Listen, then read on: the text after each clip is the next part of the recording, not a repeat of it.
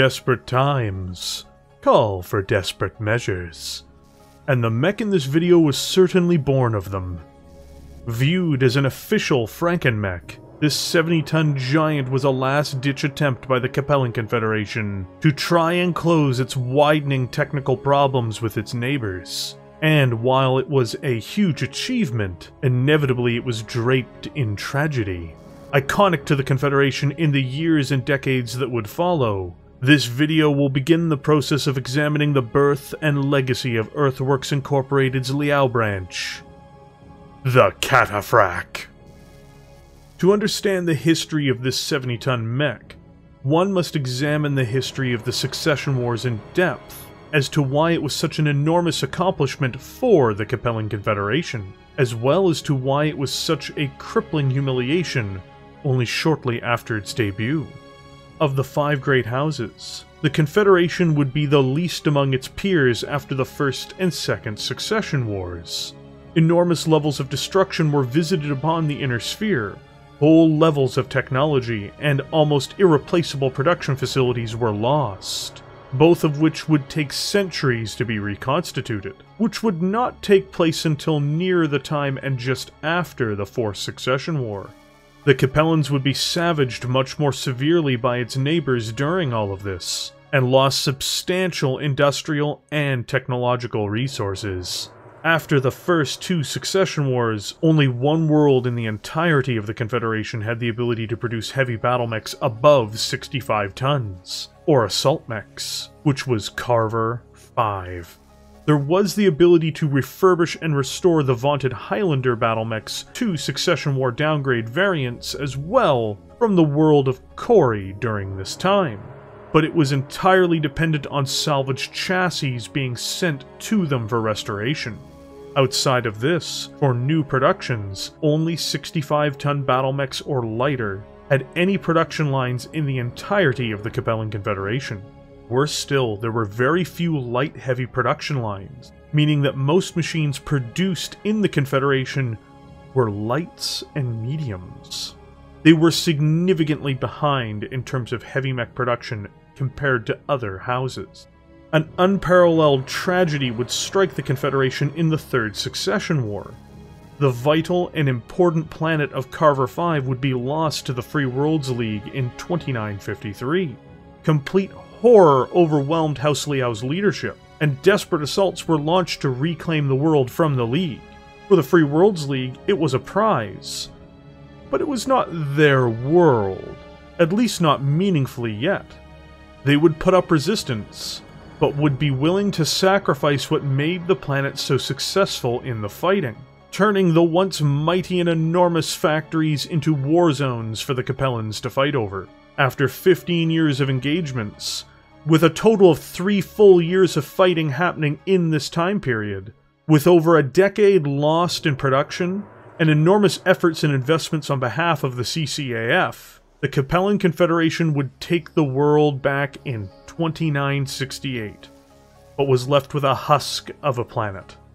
With the fall of Carver 5, the Confederation lost their means of building heavier designs, but in retaking the world, they lost priceless military assets, and in the fighting to reclaim it, reduced that which made Carver 5 valuable, its mech factories, to rubble. The 15 year disaster became a permanent fixture now looming over House Liao. Attempts to address it failed time and time again as the House made futile attempts to capture other factory worlds. This, in essence, forced the Confederation to raid other houses in desperate bids to steal their assault mechs or heavies, or even just parts for them, barring what few reconditioned Highlanders trickled out of Kori itself. Decades would pass, and the Confederation's military would gradually decline. Not in their dedication, but in their ability to have the tools needed to fight many pitched battles with other houses.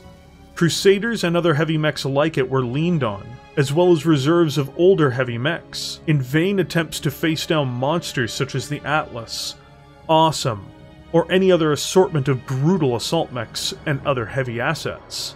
While there were many battlefield successes, this problem was growing, and a solution was consistently sought after. The solution would come in the 31st century, after decades of decline and humiliation. Despite not being able to produce mechs of various heavy and assault types anymore, many of their components could still be produced.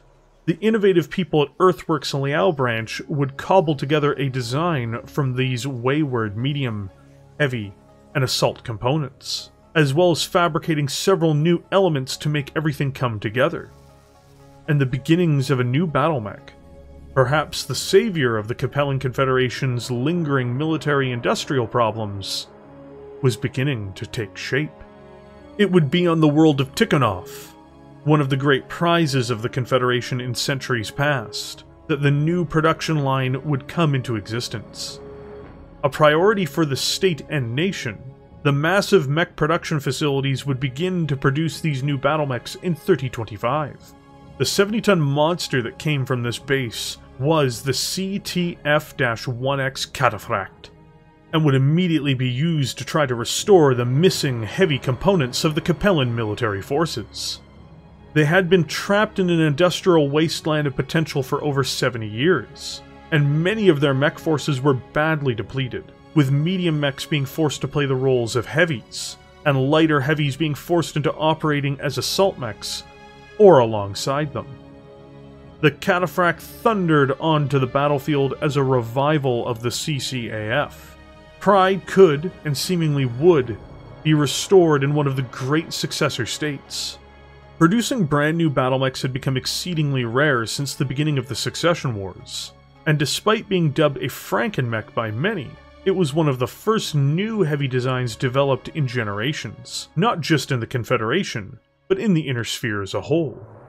This resourceful, innovative design would be viewed with a sense of national resurgence which would be shattered with the beginning of the Fourth Succession War.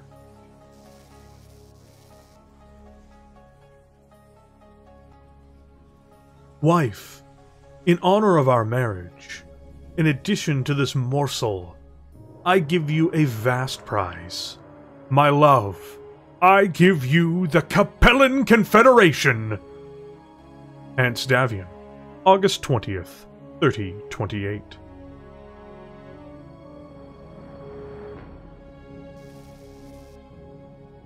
The immense accomplishment that was the Cataphract and its production was brushed aside with the surprise invasion of the Confederation by the newly formed Federated Commonwealth. The new forces the Capellans had been building, along with the mech designed to bring them back to some kind of parity with their rivals, was simply brushed aside. And worst of all, Tikhonov, the very base of production for this battle mech, would be lost in the fighting. Not only that, but the planet of Kori, the world that refurbished Highlander battle mechs, would too fall to the united House Steiner and Davion assault. Sadly, not only did the Cataphract fail to meaningfully stop the war machine that tore through its ranks and worlds, it was simply lost. The Capellan situation had devolved into something even more dire than it had been before. The Cataphract would no longer simply be a Capellan mech it would fall into the hands of the very forces which the Capellans had built the machine to repulse. The Federated Commonwealth, in fact, would later upgrade the Cataphract with technologies from the Helm Memory Core and press it into service against the clans during their invasion. But there is an interesting thing about this being a Frankenmech, which was despite the enormous investment, despite the humiliating loss of Tikhonov, and the destruction of the CCAF at the hands of their most hated enemies, the Federated Commonwealth, it was very much possible to simply build a new facility. None of the parts in the Cataphract were particularly unique. There were a few supply chain issues, but all that had to be remade were a limited number of unique fabricated components that went inside of the design.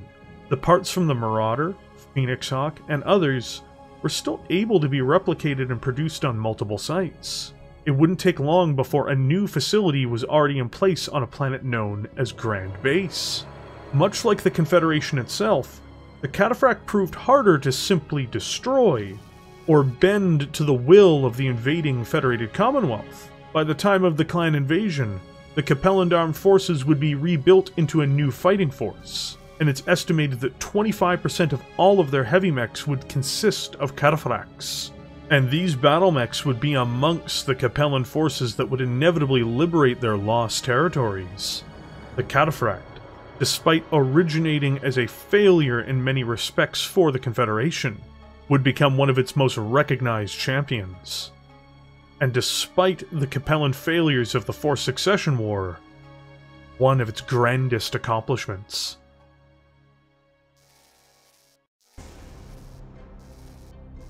The original design built by the Capellan Confederation was the CTF-1X Cataphract. It used components from a multitude of production lines to even allow it to be made possible, and thus takes on a strange looking appearance overall, at least as compared to its heavy mech contemporaries. Due to the era of its design, just prior to the discovery of the Helm Memory Core, it uses standard Inner Sphere Succession Wars era technologies, and thus has a normal cockpit gyro, and internal structure. Though the prototype of the Cataphract, the CTF-0X, has the command mech quirk, this is dropped in the production model. Instead, the CTF-1X and all future Cataphracts benefit from the protected actuators trait, giving it some protection against infantry assaults. As an aside, it utilizes the Comutech multi-channel 10 communication system, and its targeting and tracking equipment is the Blazefire sight lock system. In order to keep the Cataphract in line with other heavies and light assault mechs, the decision was made to utilize a 16-ton VOX 280 Fusion Standard engine to propel the design through the battlefield. This engine is common for its time, and results in the Cataphract having a maximum speed of 64 km per hour, or 6 movement points in the tabletop game. This is essential for it to fulfill its general heavy battle mech role, as without being able to move at this rate, it could not keep up with general battle line units in the inner sphere. Strategically, this means that the Cataphract is a viable vehicle for most tasks set out for it, especially given the expectation that it would fulfill a multitude of heavy positions in the CCAF. Due to the date of its production, and due to it having no history as a Star League era mech, the Cataphract is installed with single heatsinks, and for its time, it is adequately cooled. It has 6 tons dedicated to increasing its capacity, bringing it to 16 total heat sinks on board. This means it can fire all of its close-range weapons without an issue, or fire its heavy weapons at long or medium ranges without an issue. This is very adequate for its time, and actually means that the Cataphract is more able to consistently put out fire at medium ranges at least as long as its ammunition lasts, than a Marauder, which is a very impressive feat for a mech that weighs 5 tons less. Despite its odd appearance, looks can be potentially deceiving, and in the case of the Cataphractoi, its appearance conceals a very heavily armed battle mech for its time. It has two primary weapons on board, starting with a Ceres Arms Smasher PPC, which is installed in its right arm. This is an energy weapon, meaning it will not run out of ammunition. It has long range, and is excellent at smashing through enemy armor plating. To work in tandem with this, and to work at close ranges more easily, installed into its right torso, the CTF-1X has a Sarlon Maxi Cannon Type 10 autocannon. This hits just as hard as the PPC, produces less heat, and has no issues being used at closer ranges. It can either work in tandem with its particle cannon and not cause the mech to overheat, or it can work with other systems, and the results are the same. Finally, for close range fighting, it is well armed with four Ceres Arms medium lasers, though two of these are rear mounted unfortunately. Still, these lasers ensure that it has backup weapons in close when its autocannon inevitably runs dry. One small issue it may face is that it only has 10 rounds of ammunition for the autocannon, meaning this weapon's time on the battlefield can be very limited. As a low-tech level design, though not a primitive one, the CTF-1X has only one option when it comes to physical defense, which will come from the tonnage invested into armor. The Cataphract dedicates 11 tons to its overall protection in this way, giving it 176 points of armor to distribute across the frame. This makes it more protected than many of its peers, such as the Warhammer, and almost puts it on par with the Marauder. Though not as heavily protected as an Orion or Grasshopper, it is still very much guarded from reasonable attacks or incoming fire. This is also comparable to many lighter assault mechs, which the Cataphract was meant to cover for in some senses as well, such as the Victor or Zeus. Overall, its protection component is respectable for the era of its design, though it would be a stretch to say that it is heavily armored. The Cataphract, for being a Frankenmech, despite its failings to live up to expectations during the Fourth Succession War, is a superb mech for its time. The CTF-1X hits hard at multiple ranges, is well armored, is able to be produced reliably, and this all makes for a great battle mech for frontline formations, and it fills the holes that the CCAF most desperately needed to cover at these times. It is strategically and tactically a fantastic performer, and this was most definitely the right mech for the Capellans in their time of need. Their designers called it right, and were resourceful enough to create this monster. All the same, there's no way one mech design could save the Confederation from the surprise assault launched by Hanse Davion. But this design, and its future iterations, would continue to have a major role inside of the Capellan Confederation. And rightly so. Its popularity is not unearned, both in universe and by the player base. Due to its very nature, it is unsurprising that the Cataphract would be an excellent platform as far as being modified with new technologies and refits over time. Also, due to it being captured at one point by the Federated Commonwealth, this mech would have refits that went even outside of the Confederation's borders. With so many modifications, I can't possibly cover all of them in this video, but this portion of the video will cover three alternatives and newer variations of the Cataphract. After the discovery of the Helm memory core, and with the capture of Tikhonov, the Federated Commonwealth would continue the production of cataphracts, though they would update this adaptable unit to their own, new, deadly configuration. It would be very much in line with the Davion's military preferences of the day as well, replacing out its PPC for an autocannon-based weapons solution. To start with, it upgrades its 280 VOX standard to a General Motors 280 XL engine. This gives it 8 more tons to utilize in the machine, though it makes it more vulnerable to engine death by either criticals to the engine or due to instant destruction upon the loss of a torso. With the weight saved from this, the Cataphract would become equipped with jump jets to enhance its mobility. It maintains its medium laser payload and rear-firing lasers, as well as its 16 standard heat sinks and 11 tons of standard armor. Things begin to change beyond this as it upgrades its AC-10 autocannon to a Miradon XL LB-10X autocannon, and gives it 2 tons of ammunition. The PPC, as it was mentioned before, is replaced by a General Motors Nova 5 autocannon, or an Ultra AC-5 autocannon. The latter might not do as much damage to one location, but it produces less heat, and has scatter damage against enemy targets.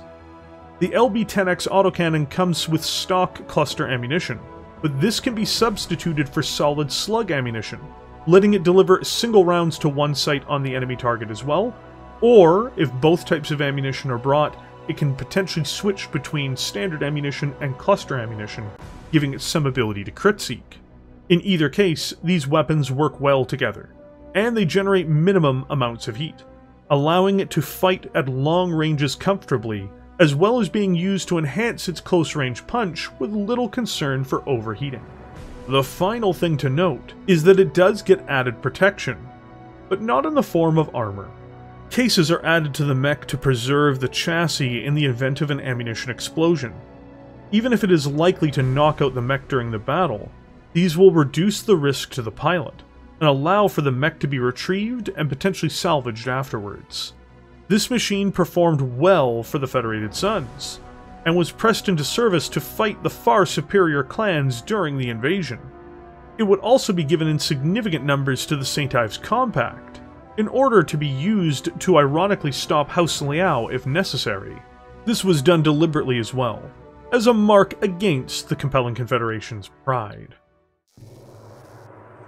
Much of what this updated variant is, is born of taking ideas from House Davion that had been worked on and incorporating them into a newer, Liao-centric model. What resulted is the CTF-3L, which would appear as one of the main technological refits of the CTF-1X. To start with, it incorporates the LBX autocannon from the 3D in the model.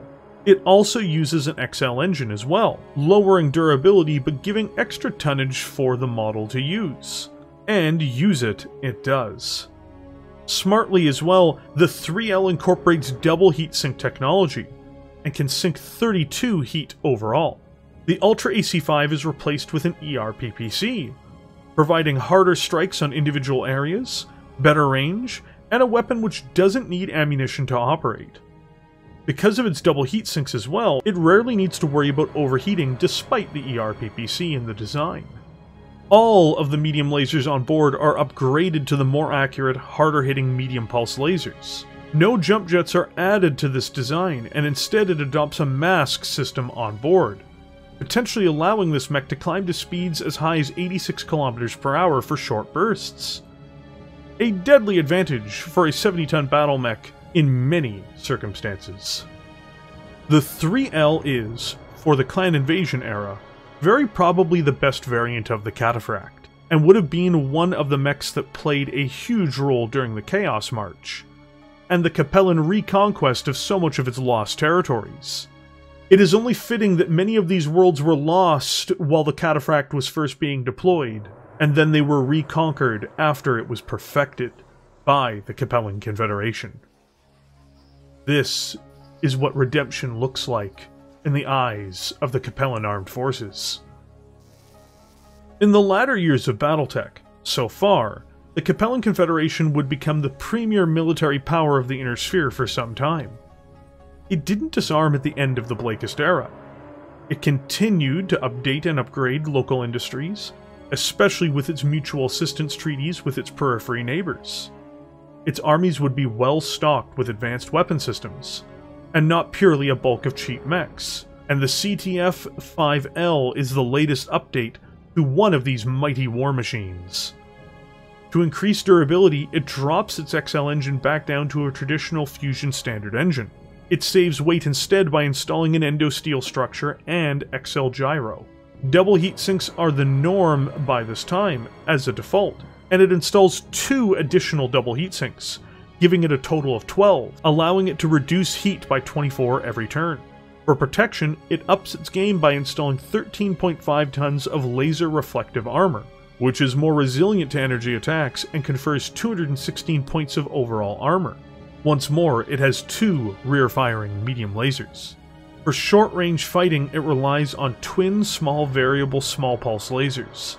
But for its main weapons, it is heavily gunned with a combination of a Gauss rifle mounted in the right torso, which is given a CASE for protection, and it has an ERPPC as well.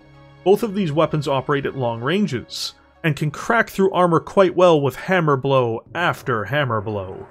This is a refit for a new era, and marches for the Chancellor into the battles they now wage for supremacy of the Inner Sphere against their traditional foe, the Federated Suns, and for the confrontation on the horizon with Clan Wolf at the center of the Inner Sphere. Time has changed the Cataphract, but its role stays the same. It is there to be what the Confederation needs it to be. The Cataphract was born out of anxiety and poverty in the succession wars for House Liao, and was to address the deep inadequacies the CCAF had in terms of their material equipment against their fellow house rivals. While it was up to that task, it was not in sufficient numbers to achieve it by 3028, only three years after the beginning of its production and most tragically would be smashed in the most humiliating defeat in generations. The Confederation at one point was seemingly going to be deposited into the dustbin of history, or at best it would have been left as a rump state, ignored by all and of little value. While the Confederation was associated with humiliation, it was also associated with its resurgence, resiliency, determination, resourcefulness, innovation, and with its restoration. 125 years after its original deployment, this battle mech has stood over the crushed remnants of almost all of House Liao's enemies in the meantime. It marched at the head of the CCAF when they assaulted the heart of the Federated Commonwealth in the region that became known as the Chaos March, restoring much of their border. The St. Ives Compact, a Davion backed breakaway region, is no more, largely reintegrated into the Capellan Confederation, and the Cataphract had its role to play in the military side of ending this decades long political feud. The forces of the Word of Blake would be faced down by it in their crusade, and would be halted, and now the Word of Blake is no more. The Cataphract would stand against the Republic of the Sphere after Grey Monday, too, and would participate in the Confederation's assault on the new state at the core of the Inner Sphere. As of the making of this video, the Confederation still stands. The Republic does not. There is a great flavorful history to the Cataphract. It is a story design, and one with an incredible origin, which is unable to be divorced narratively from the Confederation. It is a battle mech which made space for itself to become iconic. It's as if Frankenstein's monster survived and became the village hero.